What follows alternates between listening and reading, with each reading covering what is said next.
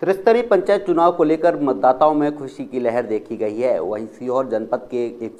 ग्राम पंचायतों के मतदाता केंद्रों पर सुबह सात बजे से लंबी कतार लगाए हुए हैं मतदाता अपना अमूल्य मत देने के लिए मतदान केंद्र पर पहुंच रहे हैं इस दौरान मतदान केंद्र विल्कसगंज में सैकड़ों मतदाता गढ़ पहुंचे हैं